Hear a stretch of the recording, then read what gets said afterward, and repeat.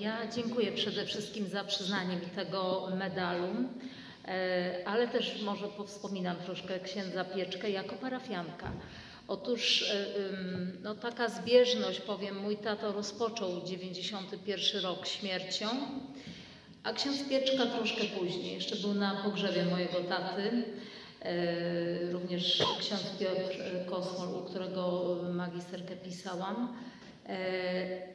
To jedno wspomnienie. Drugie wspomnienie z kolei powiem, że kiedy weszła religia do szkół i chciałam wspomóc Racibórz, bo wiedziałam, że jest troszkę mało tutaj e, wtedy świeckich katechetów, księży też nie za dużo i ta dwunastka, trzynastka, siódme klasy miałam bardzo fajnie zresztą, wspominam to mile, to też e, była to wówczas e, współpraca z księdzem Pieczką.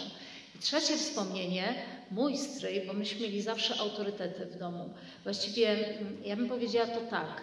E, pracuję w parafii świętego Augustyna w Borucinie, e, w szkole rzecz jasna podstawowej i słowami świętego Augustyna, jeśli Bóg na pierwszym miejscu, wszystko na właściwym miejscu. Proszę nie że ja taka poukładana jestem, bo nie jestem. Moja siostra jest ułożona matematyczka. Ja natomiast y, Chodzi o hierarchię wartości, chodzi o autorytety. Wszystko to są zdewaluowane dzisiaj e, pojęcia.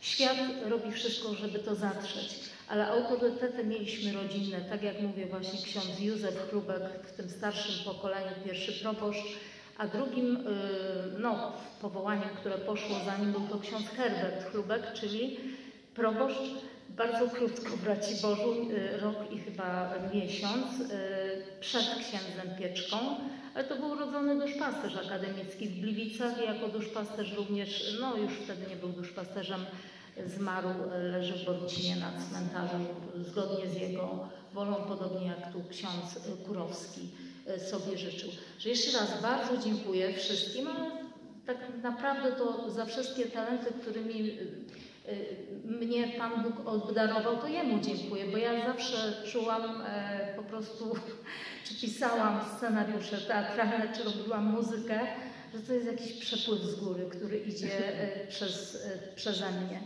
Dziękuję bardzo.